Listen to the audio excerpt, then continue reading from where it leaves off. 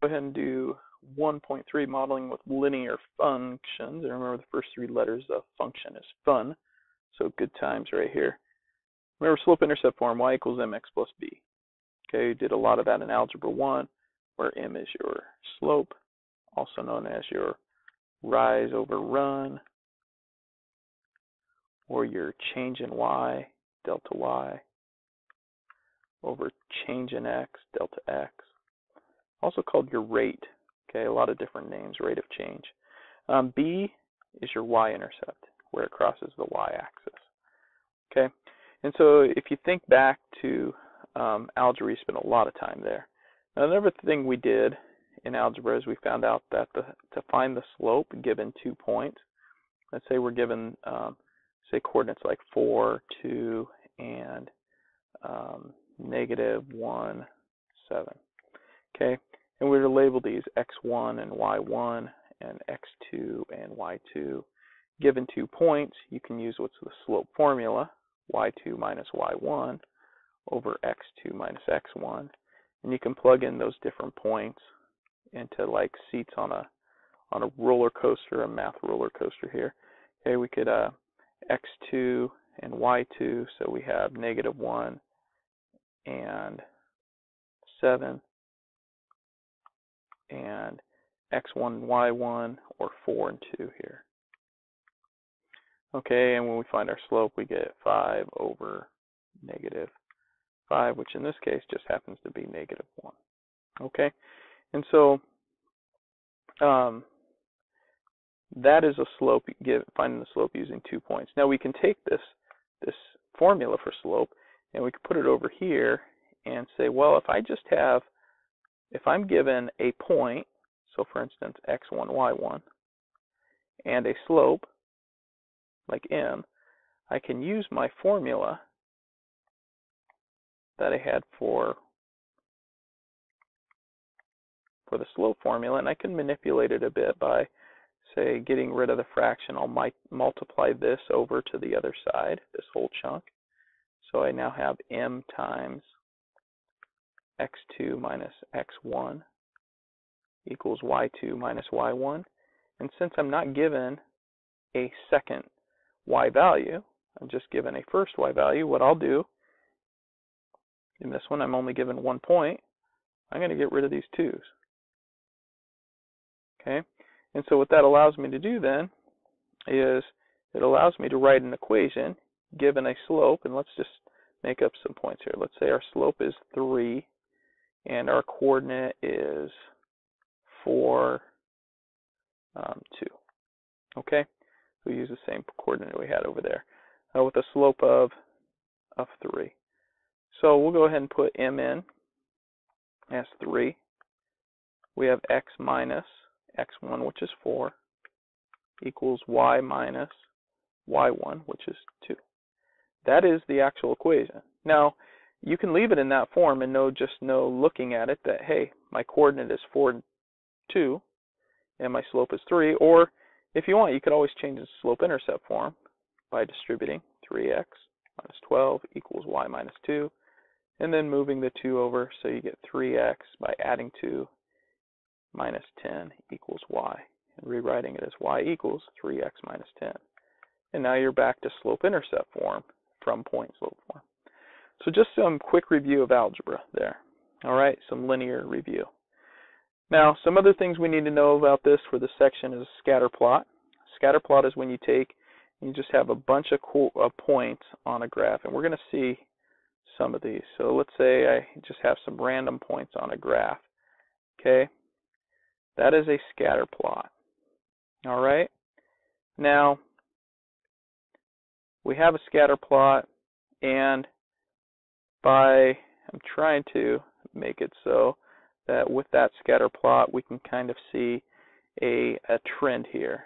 So a line of best fit would be a line, whoa, did not mean to do that, a line that tries to split those points. There's actually a formula you can use, but it kind of splits those points in half where you have um, as many of the points as close to the line as possible and as many uh, kind of an equal number below and above the line. And there, there's a way to figure that out using um, uh, uh, statistics, but we're not going to get into that quite a bit. Okay, but that would be your line of best fit, also known as a um, also known as linear regression when you're dealing with a calculator, which we'll see here in a minute. And the equation of this line is actually called your regression equation. So if you can figure out the equation of this line of best fit, that's our regression equation. And the the closer all these points are to that line, that's called your correlation coefficient, also known as R. We're going to see those in our next uh, piece here. So I've got a table here, graphing a scatter plot and a line of best fit using Desmos. Now, in class, I show how to use the TI-83 or TI-84 Plus calculator because really that's what you can use on College Board, your SATs and stuff like that. But another great tool is Desmos, and it's free and it's online. And so we're going to use Desmos on this, okay? And so what I'm going to do, I, I've copied all this down, so this is data you want. And I'm going to take that data and I am going to open Desmos. So I'm going to get out of this slideshow here. Okay. And I'm going to go into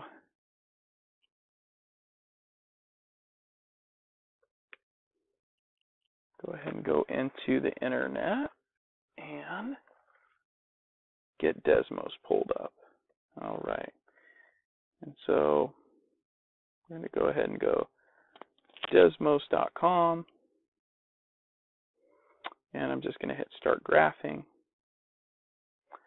Okay, and I'm going to go ahead and put in some values here.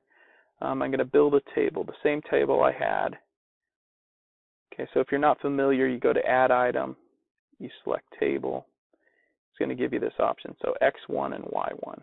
So I'm just going to put in that same table that I just had on, let me show the slide again here, that slide right there. Okay, and so I'm not sure, let's see if I can get this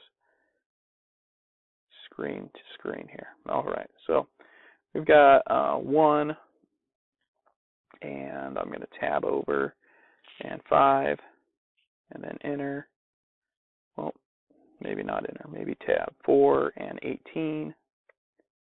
Yeah, and 12 and 17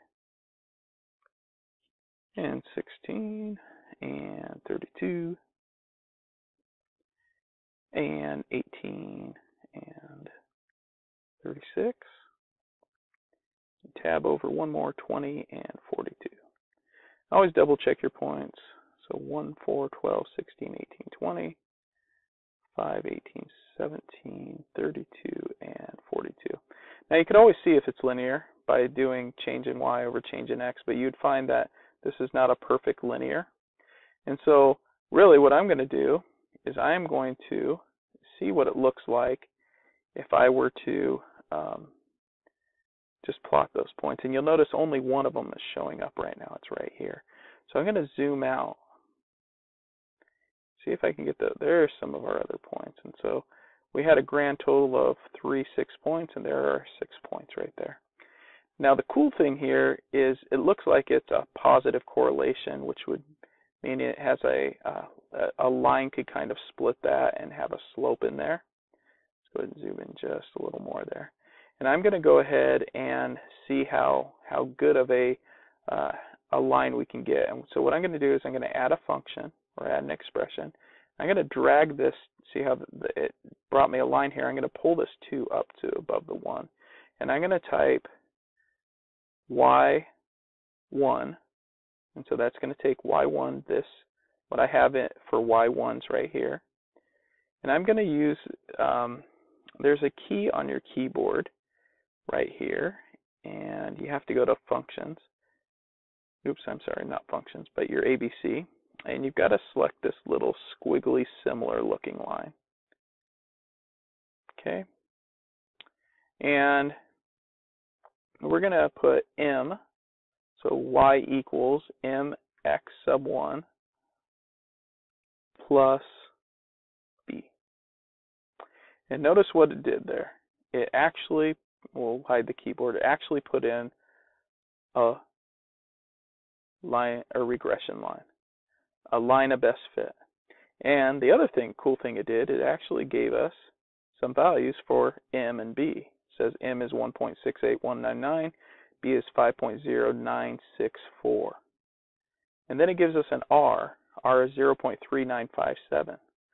So using that information, what we actually have is what's called our regression equation. Now we could write that out.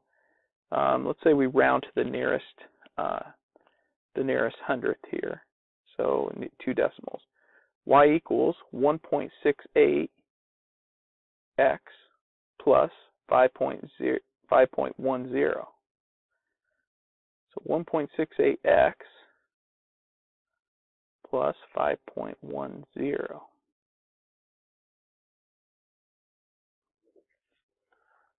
So we'll write, I'm going to write that up here if I can. y equals 1.68x plus 5.10.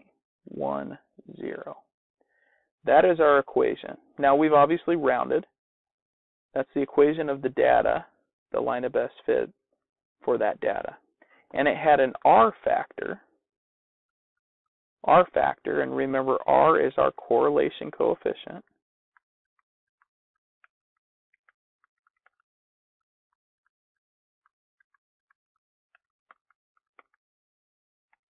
it had an R factor of 0.93, I believe. Let me just double check that there. Yeah, 0.9, actually 0.94 if you if you were to round it. Okay, and so we'll fix that up. Oh, I can't, I can't change it, but you know, I'll just I'm obviously not using a pencil here, but 0.94. Wouldn't let me erase because I exited the slideshow. But that's the correlation coefficient. And the cool thing about the correlation coefficient, the closer this number right here is to 1,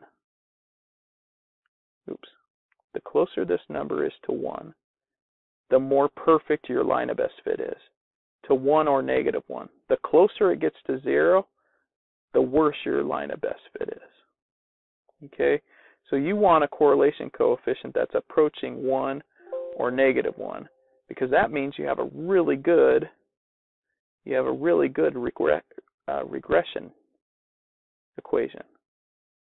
Your line matches up these points really well. Notice this line hits one, two, three of our points, and almost it kind of splits those two in half. That's why it's so close to one. We have that we have that value right there, that 0.94. That's that's pretty darn good. All right, there's a lot of other cool things you can do with this, um, but that's all we're going to do. Okay, very good. That is uh, dealing with modeling with linear functions and using Desmos for it.